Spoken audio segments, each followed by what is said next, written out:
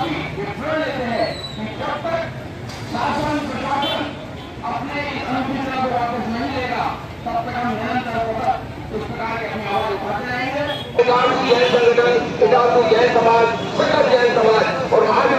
के माध्यम से हम कंधों से कंधा मिलाकर अपना विरोध प्रदर्शित कर रहे हैं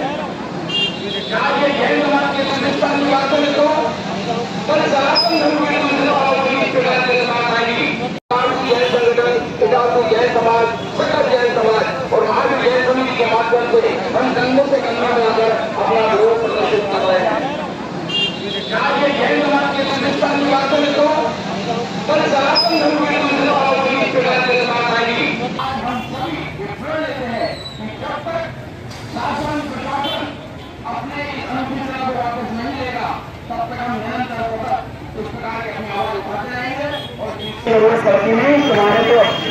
बड़े वाले जुलूस में कभी नहीं करेंगे तो शांति मार्ग है। रघुवंशी जी ने आवश्यकता